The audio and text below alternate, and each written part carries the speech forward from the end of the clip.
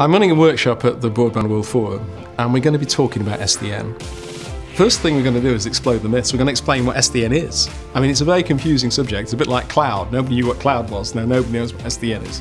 I'm going to talk about NFV, Network Functions Virtualization, what that is and how the things are different. We're going to then dive into some of the technologies. We'll do that in a very kind of open way. We'll go slowly through it and explain and demystify it and explain, and then we'll explain really what the advantages are to the customer because that's what it's all about. It's all about having this great technology. What does it really mean? What can we really do with it? We're going to explain that. We're going to have an open discussion then with the customers and we're going to talk about what it means to them and what they want it to mean.